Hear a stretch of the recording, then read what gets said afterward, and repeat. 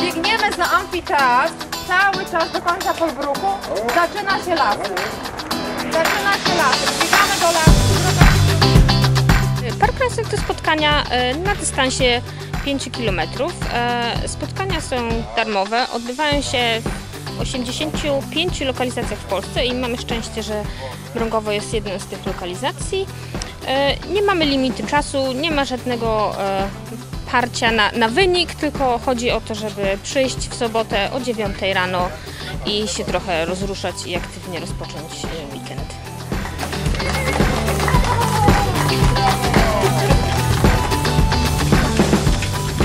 Każdą sobotę o 9 rano biegacze, tak jak widać, z całej Polski, a także i ze świata spotykają się w tym samym miejscu, aby wspólnie przebiec symboliczne 5 km. Możemy biegać, możemy maszerować, możemy truchtać.